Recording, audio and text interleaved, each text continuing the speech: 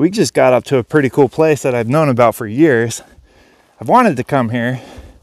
In fact, I've driven right by it a couple times actually, and now I only live 17 minutes away from it from my house. This is probably the most famous petroglyph panel that's in the Moab area, or at least one of them, I'd guess.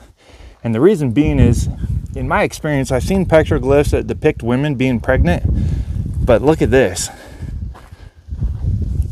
What do you guys think that is? It's actually a woman, and it's depicting her giving birth.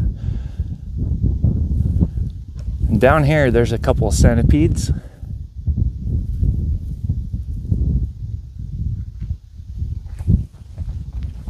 It's like a big shaman looking figure.